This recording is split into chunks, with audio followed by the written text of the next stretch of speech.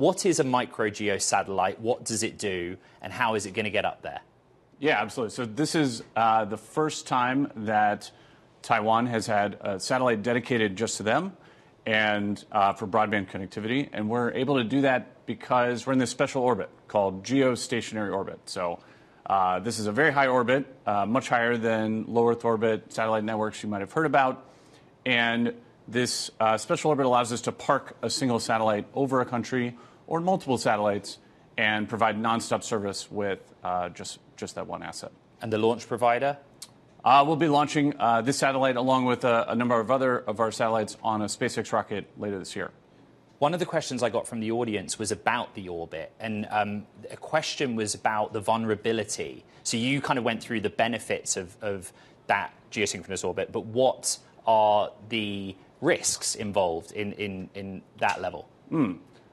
Well, I'm not going to go into details on techniques to counter the kinds of things I, I think you're talking I about. I think that is at the root of that question, uh, yes. What, what I would say is that resiliency comes from strength in numbers.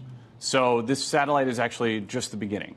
We're going to be launching many satellites. This is why we're spooling up production out of our uh, factory here in San Francisco uh, to launch many dozens of these satellites in the years to come.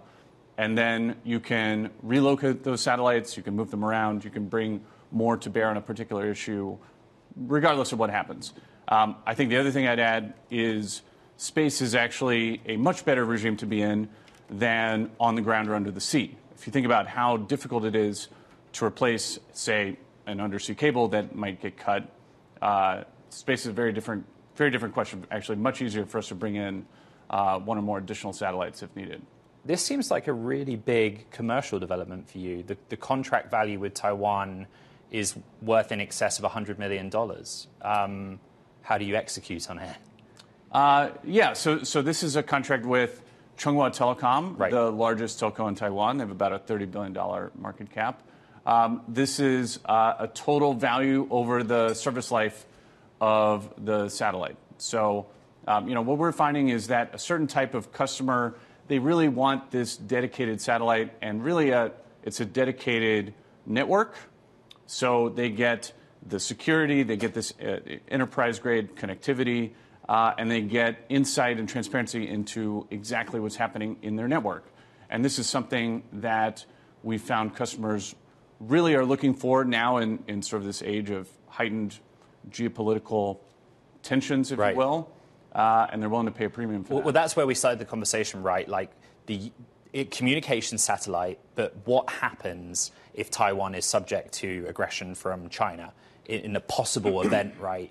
Is, is Astranis a communications satellite company or is it a defense technology company?